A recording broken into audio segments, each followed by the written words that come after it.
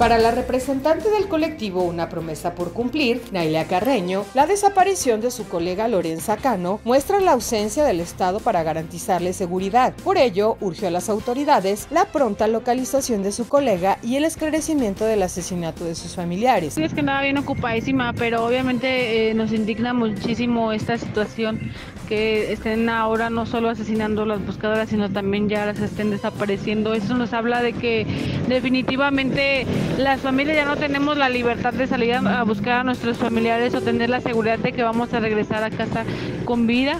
Entonces deberíamos como colectivos hacer algún posicionamiento para que estas situaciones pues no sigan sucediendo, ¿no? Aseguró que definitivamente las familias ya no tienen la libertad de salir a buscar a sus seres queridos y no tienen la seguridad de regresar a casa.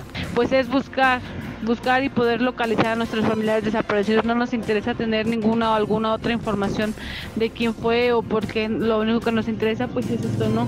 Que podamos regresar la paz a, a nuestros corazones y por parte del colectivo obviamente nos indigna esta situación ya que pues hace poco nosotros sufrimos el asesinato de nuestra compañera Teresa Maguillán y el que ahora otro colectivo esté pasando por esta situación definitivamente es algo que debe Recordó a las familias de las familias de personas de desaparecidos que no están ahí por gusto ni buscan culpables, sino que han dejado su vida para encontrar a su ser querido. Informó para Zona Franca Alfonsina Ávila.